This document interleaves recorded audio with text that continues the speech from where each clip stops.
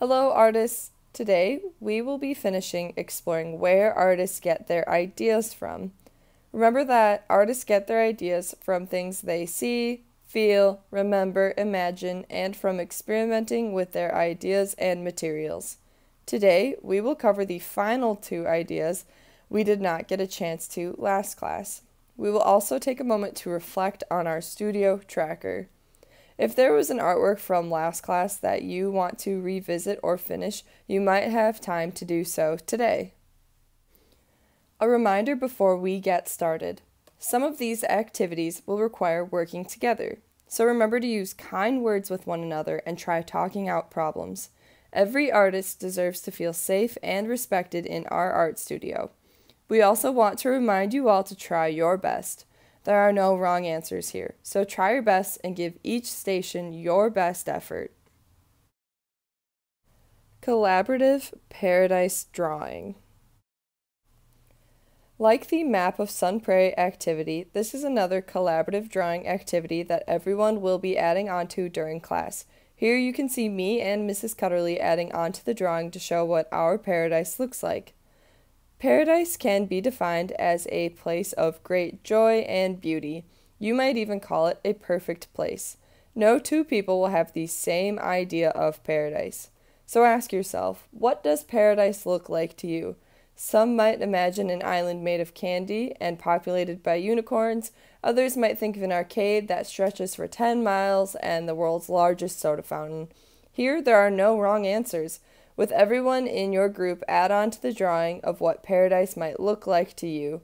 As the class rotates through the stations, more and more will be added to the drawing. And here is the start of what Mrs. Kudrle and I made.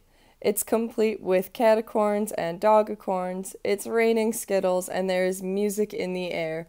Remember that this is just what me and Mrs. Kudrle thought paradise would look like, so your class might have a totally different idea of what this could look like. This is an imagine activity. Some artists make artwork based on things they imagine. Still life drawings. During class, we will be passing around different still life objects for you to draw. You can draw in your sketchbook or on drawing paper if you do not have your sketchbook. This is a skill that takes a lot of years of practice to master, so please be patient with yourself while trying to do this. Look closely at the objects and observe all you can and get every detail you can onto your paper.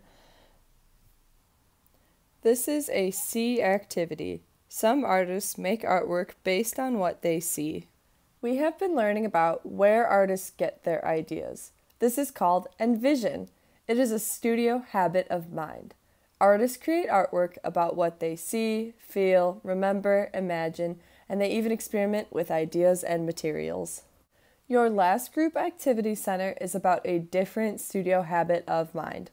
For this activity, you will reflect or think deeply about your artistic process and growth. You will need your studio tracker, which will be yellow for grades second and third, and blue for grades 4th and 5th. You will also need a pencil.